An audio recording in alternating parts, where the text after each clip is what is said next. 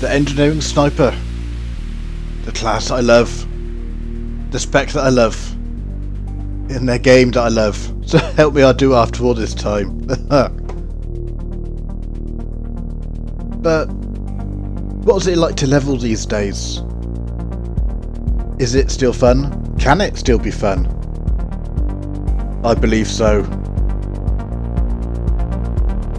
That, my friends, is my project. That, my friends, is what I want to show you. And that is what I hope to achieve. A character created for a single purpose. A character created to show you the evolution of the engineering sniper.